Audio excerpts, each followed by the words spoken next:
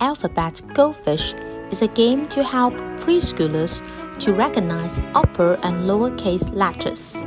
There are two decks of 52 cards each, with each letter has a pair of cards in one deck. Deal 5 cards to each player.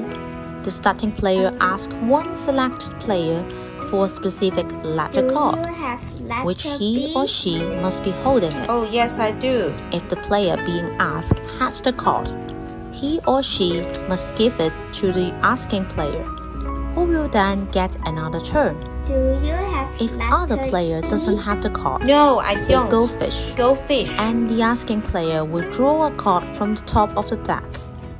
If there is a matching pair, place it on the table. If there's no match, it will be the next player's turn to ask for Do you cards. have letter C? Whoever collects No, the most fish. sets of letter cards is the winner. The letter decks can also work as a memory matching game, flashcards for learning alphabets, or a tool to teach preschoolers alphabetical orders. Right.